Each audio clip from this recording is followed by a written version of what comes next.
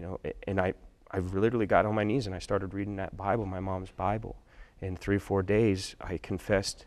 I don't even know how long I confessed. I don't even know if it was day or night. I mean, literally just asked Jesus to forgive me for the way I treated my family, the way I talked to people, even strangers. I, I, I try to turn up every, every rock and just say, forgive me. And literally, it's amazing how, in my life, how God took all that stuff off my shoulders. As they say, addiction, you know, you have to fill it with something else. And I believe the Holy Spirit filled it with, with a hunger and thirst for His Word. And some people might say, well, why doesn't that work for me?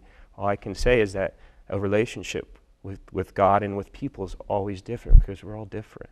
And that doesn't mean my relationship isn't changing with God, but I have to continue to grow. Communication sounds so easy, but it can be very difficult, you know, and that's kind of part of the book.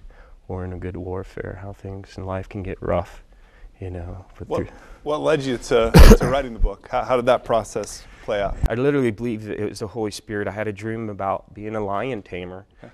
and and it, and just out of growing up in church, I was like, well, what's the lion? I thought Daniel and the lion's did, And then I, so I read the book of Daniel, and uh, his prayer life is what the Holy Spirit really pointed out at me. And going back to that hunger and thirst, no matter what Daniel happened in Daniel's life, the hardships or the good times, he prayed three times a day. And I equated that, well, God, that's like how I eat. You know, I make my three main courses. You know, personally, and just he was just showing me, Benjamin, how important it is to pray. And it's like, well, what is pray? It's just a relationship with me. I want to be a part of you.